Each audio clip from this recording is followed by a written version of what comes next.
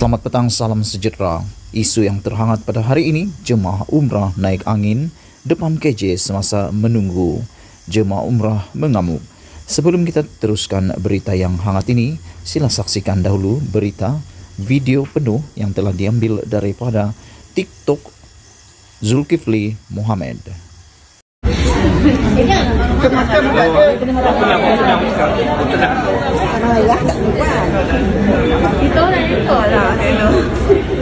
Saya yang call. Oh, siapa? Ambil nombor. Masuklah kali kita banyak sikit. Alamak. Halal, halal, halal. Halal. Halal. Tak ada SOP. Mana SOP? Mana SOP? Mana SOP? Mana SOP? Baik. Masuk dalam. Masuklah dalam, masuk dalam. Tengok. Tak, boleh keluar, boleh keluar. Ini masuk. Masuk ah, masuk. Boleh keluar.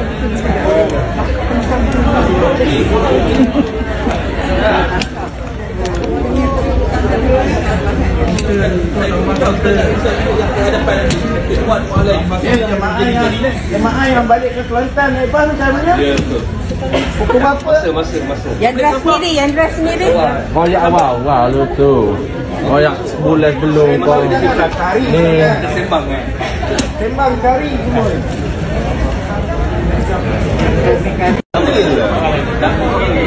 Kaki tak perlu berapa ratus orang turun daripada Jeddah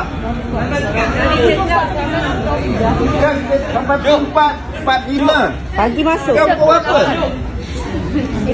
Ada Selamat petang, salam sejahtera. Isu hangat petang ini, jemaah umrah naik angin depan KJ semasa menunggu. Berita sepenuhnya. Proses pemakaian alat penjejak oleh KKM ke atas mereka yang mengunjungi negara luar uh, dan menjalankan kuarantin di rumah mengambil masa terlalu lama menyebabkan jemaah umrah yang baru tiba di tanah air di lapangan terbang antarabangsa Kuala Lumpur KLIA dari Tanah Suci naik angin. Kejadian itu tular menerusi klip rakaman yang dimuat naik di laman media sosial TikTok oleh Zulkifli Muhammad yang memaparkan sekumpulan jemaah umrah terpaksa berhimpit di dalam ruang kecil dan tanpa perjarakan sosial bagi tujuan tersebut. Di dalam klip video turut memaparkan kelibat Menteri Kesihatan Khairi Jamaluddin bersama beberapa kaki tangan KKM menyaksikan suasana dan pelaksanaan SOP bagi pemakaian alat penjejak itu. Menurut Zulkifli, situasi tersebut terjadi selepas kumpulan jemaah umrah tiba di KLIA daripada Tanah Suci dan terpaksa menunggu selama 5 jam bagi menyelesaikan proses pemakaian gelang tangan tersebut. Namun apa yang membuat jemaah lebih geram adalah sebaik saja pemakaian gelang itu selesai, Khairi dikatakan membuat pengumuman pembatalan pemakaian alat tersebut.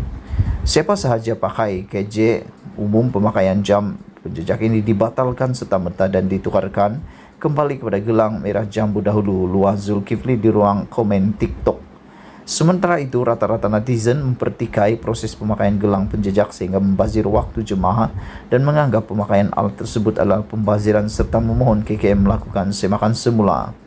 Buat benda tak ada perancangan dan kajian macam inilah jadinya buang duit saja komen Kalabul Malami. Pakai alat penjejak ini bagus disebabkan ada perangai segelintir individu yang tidak bertanggungjawab cuma perlu diperbaiki dari segi percepat proses pemakaian dan urusan yang balik dari luar negara komen Siti Maria Media.